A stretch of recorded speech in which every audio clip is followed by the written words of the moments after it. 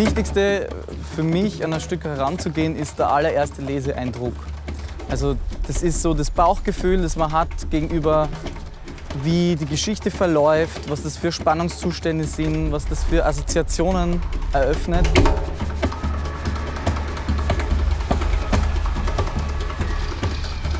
Dann geht es für mich vor allem darum, mich reinzugraben in das Stück, äh, in die Umstände oder die historischen Umstände von dem Stück, von dem Autor oder der Autorin. Entschuldigung, Entschuldigung, den Ausstieg hier. Wo waren wir? Äh, Im Kühltransporter, oder? Ihren Namen! Isabelle Huppert. Ja, Isabel H. von Thomas Köck, das war ein, ein sehr spannendes, aufgeladenes, aber auch sperriges Stück, was man in vielen Bereichen erstmal so aufdröseln musste, um dann zu schauen, wie man das sehr, sehr klar und packend erzählen kann. Wobei mir wichtig war, dass man einen sehr schnellen Rhythmus durch die Inszenierung findet, weil es gibt zwei Zeitebenen in dem Stück. Die Realsituation von diesem Soldaten und der Migrantin, die sich Isabelle Huppert nennt, in dieser Lagerhalle und immer wieder Flashbacks aus deren beiden Leben oder vor allem die des Soldaten. Und eine sehr, eine sehr schnelle Form zu finden, fast als würde man immer permanent zwi zwischen zwei Filmen hin und her schneiden.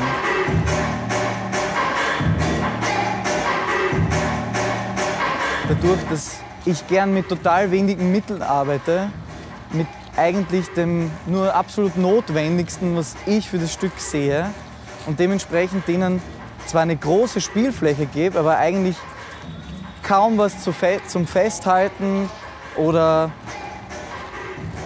oder etwas, wo man sich verstecken könnte als Schauspieler.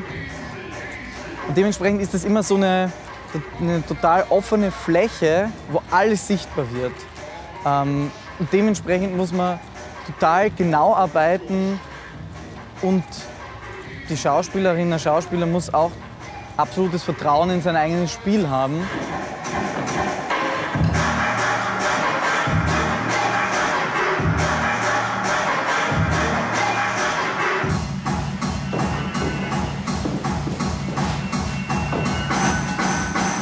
Mir ist das tatsächlich total wichtig, dass der, dass der Rhythmus stimmt.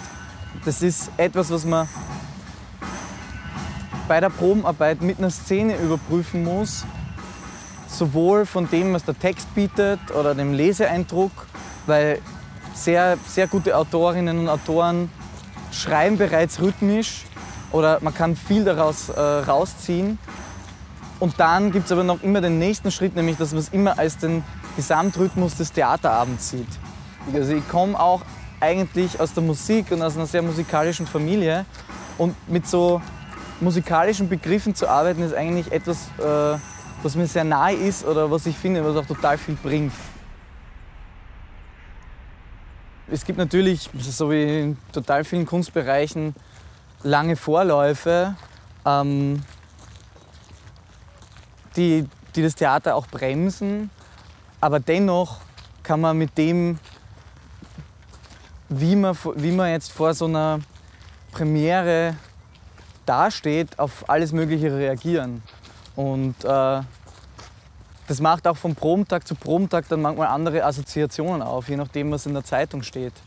Und das beeinflusst natürlich auch das, wie man daran arbeitet und aber auch später das Publikum, wie es eine gewisse Szene oder den ganz, die ganze Inszenierung wahrnimmt oder liest. Das Opfer tot, der Henker schuldig.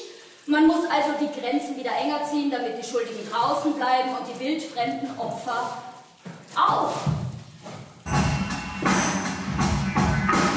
Ich finde immer, dass erst dann ein Theaterabend auch wirklich stark wird, wenn man das Gefühl hat, dass von allen, die daran beteiligt waren, auch was drin ist. Und dass die das auch stützen, was man damit erzählen möchte. Und dann hat man eigentlich erst die Chance, dass es was ist, was überschwappt zum Zuschauer.